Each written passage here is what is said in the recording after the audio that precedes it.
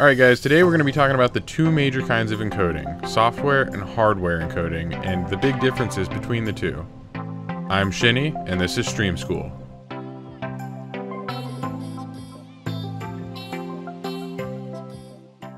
Alright guys, today we're loading up OBS Studio again, and we're going to take a look at the two major types of encoding. So first off, we have software encoding, which mostly uses your processor or your CPU to handle most of the load of rendering your stream or your recordings and actually creating that video file. The second type of encoding is hardware encoding, which is going to be using your video card instead of your processor. Now, OBS is going to require both a processor and a video card in order to do any kind of video rendering or streaming or recording or anything. But depending which one you use, will put more strain on either your processor or on your video card. So we're going to go ahead and open up our settings here in OBS and I'll explain why you want to use one or the other. I'm not really going to go into a whole lot of details or comparisons between the two. One of the big things you want to keep in mind though is something like software encoding does really well if you have a low bit rate where you're not feeding it a whole lot of data whereas something like hardware encoding actually does much better if you're feeding it a very high bit rate. So how I usually have mine set up is to have the software encoder handle my live streams. I don't have the greatest internet upload speed, so I want to have a lower bitrate for my live streams, but I still want it to look good. So by using that lower bitrate and then using software encoding, it puts the, the workload onto my processor which allows that live stream to still look good even with a lower bitrate. I'm only running a 4500 kilobit per second bitrate for my Twitch streams, and I'm running them at 720p 60 frames per second. I could go a little bit higher than that, but I found that 4500 looks pretty good for what I'm doing.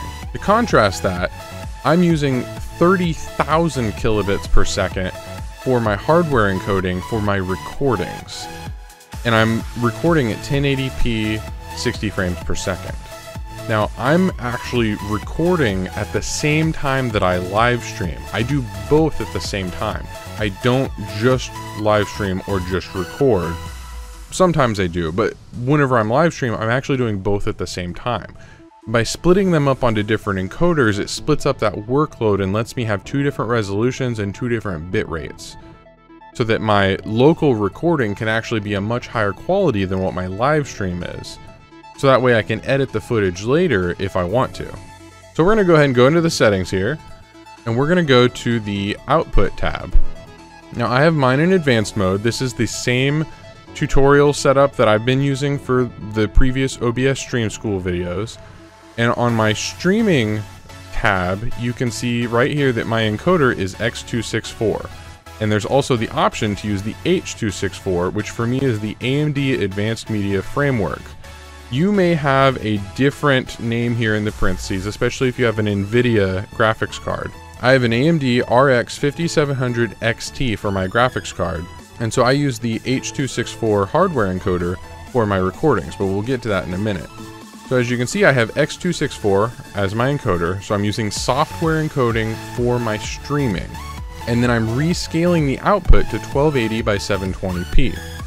You can see right here my bitrate, 4500 kilobits per second, and Twitch recommends a keyframe interval of 2. Now I also have my CPU usage preset to faster. You can change these to other settings. The higher on the list you go, the easier it is for your processor to keep up. So if you don't have a very strong processor and you're really noticing you're, you're dropping frames, you're really having some trouble, you can raise this setting up. By default, it will be on very fast, which works very well. I have mine set to faster because that makes it look just a little bit better with that same amount of bitrate. But it does use a lot more processing power to make that happen. The lower you go on here, the harder it's going to be for your PC to keep up. The, the harder it will be for your processor in your computer to keep up. Alright, so now we're going to go over to the recording tab. As you can see here, I am not rescaling my output. I am leaving it on the default 1920 by 1080p. And then under the encoder, you can see that I'm using the H264 AVC encoder, the AMD Advanced Media Framework. Because again, I'm using my AMD RX 5700 XT card. It's handling all of the recording and not the streaming. Now, as you can see down in my preset down here, my target bitrate is set for 30,000 kilobits per second, and I'm able to handle this no problem. 1080p, 60 frames per second. I have no lag with my video card. Now, my peak bitrate is only 28,000 kilobits per second, and I don't understand. Personally, I don't understand the difference between the target and the peak but I know that by default, the peak was set a little bit lower than the target. So when I increased my target bitrate up to 30,000, I increased my peak bitrate as well to keep it closer. And I have not had any issues with, with this specific setup right here.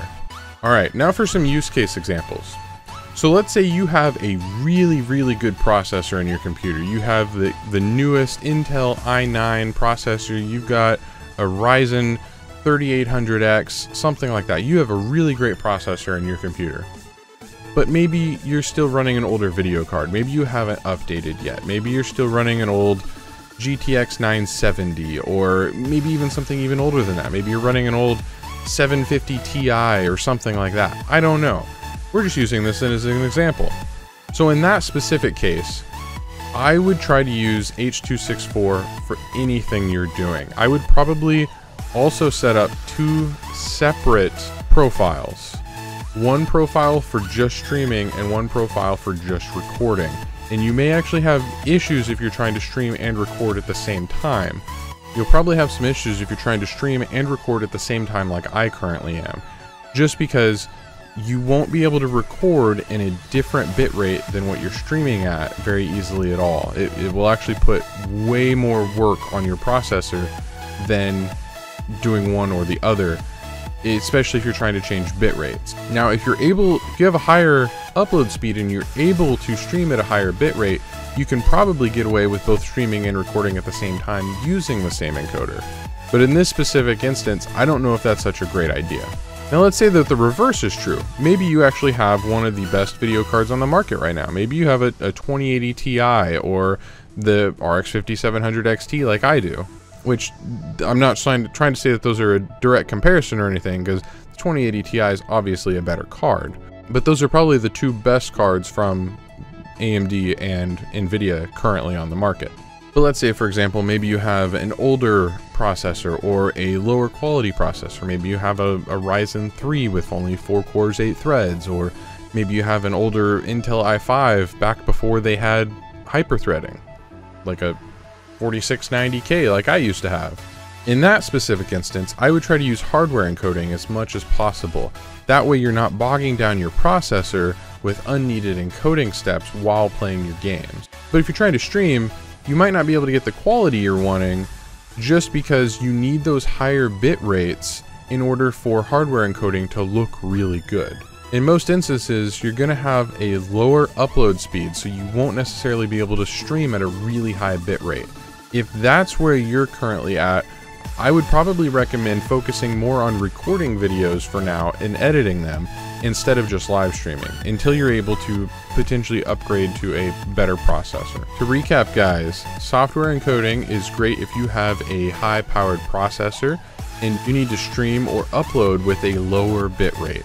Hardware encoding is great if you have a great video card and you're able to stream or record at a much higher bit rate. The quality of software encoding is going to continue to look good even at lower bit rates, whereas the quality of hardware encoding will look really bad at low bit rates, but will look really good at high bit rates. Software encoding will also look good at high bit rates, but in my specific use case example, being able to stream at a low bit rate with software encoding and then record at a high bitrate with hardware encoding really lets me get the best of both worlds there with streaming and recording at the same time. Alright guys, I hope this video helped you out in some way. Hit the like button if you learned something new. Leave me a comment if you have suggestions of what I should talk about next time. Leave me a comment if there's something you'd like me to cover for next time in Stream School.